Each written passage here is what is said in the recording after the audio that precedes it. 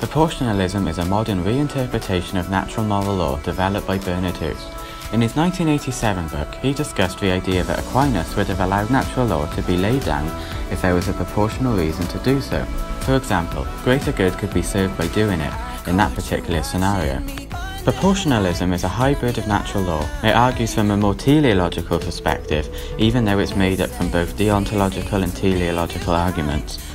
Hoose's proportionalist maxim. It is never right to go against a principle unless there is a proportionate reason which would justify it. In order to make a proportionate decision, we need to make a distinction between an evil moral act, a moral act, and a pre-moral slash ontic evil act, a bad act that in itself is not immoral.